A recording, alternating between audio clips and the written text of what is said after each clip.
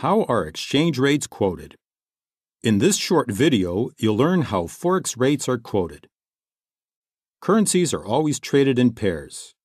That's because each foreign exchange transaction involves the purchase of one currency against the sale of another. The prices at which Forex transactions are quoted reflect the rate at which the first currency may be purchased or sold relative to the second currency. The first currency in a currency pair is referred to as the base currency, and the second currency as the quote currency. For example, in trading euro against the US dollar, the base currency is the euro, and the quote currency is the US dollar. Just as in trading the British pound against the Japanese yen, the base currency is the British pound and the quote currency is the Japanese yen.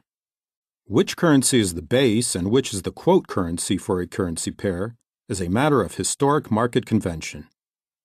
Why is this important? In Forex, the value of the base currency is always 1, and the exchange rate reflects the amount that one unit of the base currency is worth in the quote currency.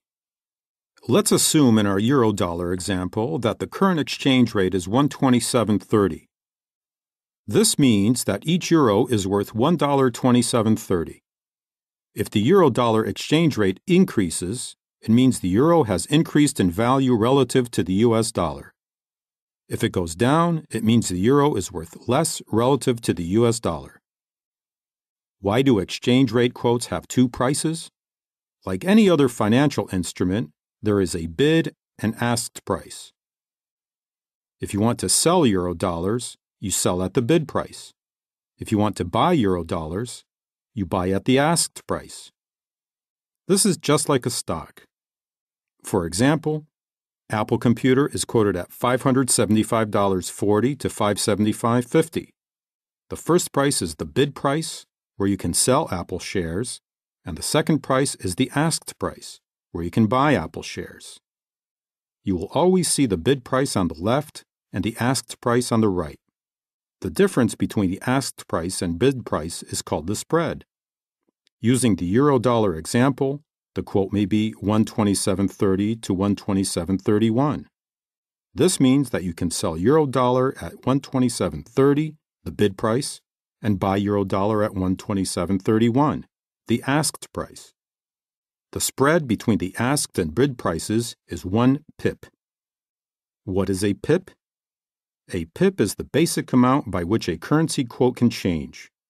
For nearly all major currencies, a pip represents the fourth digit to the right of the decimal. The exception is the Japanese yen, where the pip value is the second digit to the right of the decimal point. Spreads will vary based on the liquidity of the currency pair.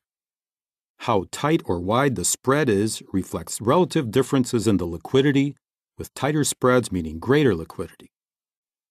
GO4X offers some of the tightest spreads available in the marketplace and instant execution in many currency pairs. See our pricing schedule for more details.